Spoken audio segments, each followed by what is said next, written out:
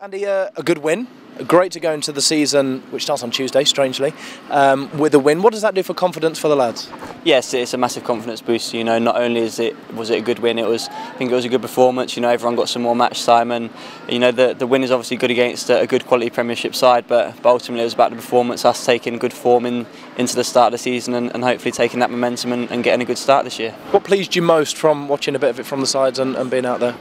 Um, I think the way that the team, you know, gelled together, I thought I thought we looked good going forward with, with good balance and and also in in defence, you know, I thought we held our shape well and, and looked organised and, and were clearly hard to break down. You know, I think they probably only had maybe one or two chances throughout the game, and, and against such an experienced and, and quality Premiership side, then then that's good for anyone.